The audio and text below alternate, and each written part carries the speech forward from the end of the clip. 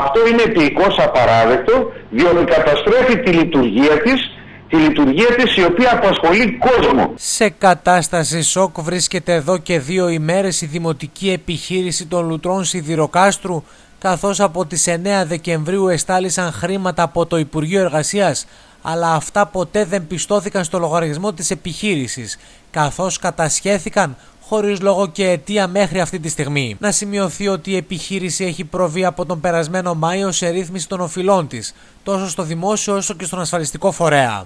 Τι χρήματα ναι. κατέσχεσαν από τα λουτρά; Πού χρωστούσατε ναι, από το πρόγραμμα λοτροθεραπείας ναι. από το Υπουργείο Εργασίας. Το εγώ είχα κάνει σύμβαση με το Υπουργείο Εργασίας. Ωραία. Ναι. Και τα λεφτά εκταμιεύτηκαν στις 9 το δεκάτο ναι. Από το Υπουργείο ναι. για να έρθουν στο λογαριασμό μας. Στο λογαριασμό μας δεν υπήρχαν. Πού πήγαν αυτά τα λεφτά; Ρωτώντας, ρωτώντας ναι. έμαθα ότι μεταδέσμευσε εφορία. Γιατί; Εγώ έκανα κάποιες κινήσεις ο κύριος Παπάς τόνισε πως έχει ραντεβού με τον διευθυντή της ΑΔΟ Ισερών αύριο προκειμένου να βρεθεί λύση στο παραπάνω ζήτημα και το ποσό των 56.000 ευρώ να φτάσει στα ταμεία της δημοτικής επιχείρησης ώστε να πληρωθούν οι προμηθευτές των ρουτρών. Παράλληλα, ο πρόεδρος της επιχείρησης επικοινώνησε και με τον αναπληρωτή Υπουργό Οικονομικών Τρίφων Αλεξιάδη προκειμένου να διευκρινίσει τι ακριβώς συμβαίνει. Σήμερα μίλησα με, με τον προϊστάμενο Αύριο θα επισκεφτώ την εφορία για να ναι. δούμε τι θα κάνουμε. Χρωστάτε κάπου στο δημόσιο, είχατε χρέη ναι, στην εφορία; Ναι, ναι, ναι. Κάναμε μια ρύθμιση ε, άμα... που εμείς, στη ρύθμιση εμείς είμαστε εντάξει. Ε, άμα είστε εντάξει δίνουμε τα χρήματά μας. Άμα έχετε κάνει ρύθμιση, ε, εννοείται ότι είστε συνεργάσιμος, ότι είστε φερέγγιος. Βεβαίως. Πληρώνατε λέτε, πληρώνατε στη τη ρύθμιση. κάθε μήνα. Ε, τότε κάτι έχει γίνει λάθος, δεν μπορεί.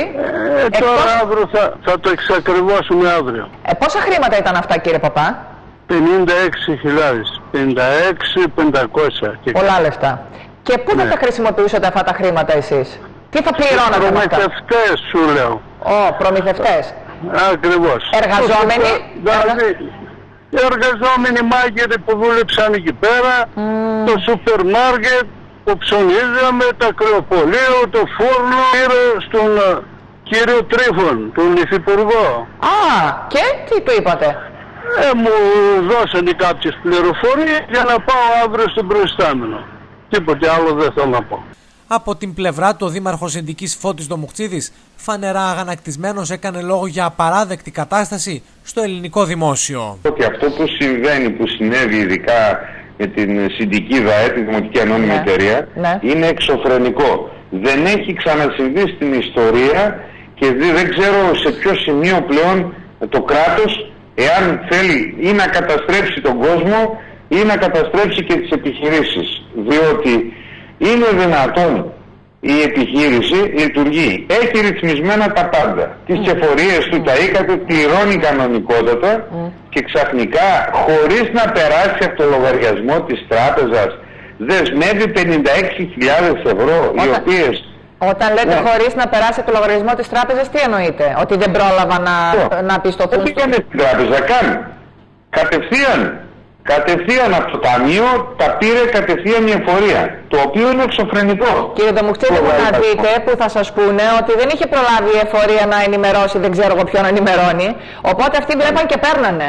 Αλλιώς δεν εξηγείται όταν μου λέτε ότι όλα σας τα χρέη τα έχετε ρυθμισμένα. Δηλαδή, αν δεν υπάρχει και εκεί εμπιστοσύνη, που να πάμε να κρυφτούμε; Είναι όλα ρυθμισμένα από την ανώνυμη εταιρεία, της, ε, τη Δημοτική Ανώνυμη Εταιρεία, όλα και σε, μάλιστα και της εφορίας γιατί αυτά είναι χρέη τα οποία τα βρήκαμε, ναι. τα ρυθμίσαμε πόσα, και αφορούν εφοριακές ήταν 80.000 και 70.000 το δηλαδή 150.000 ευρώ.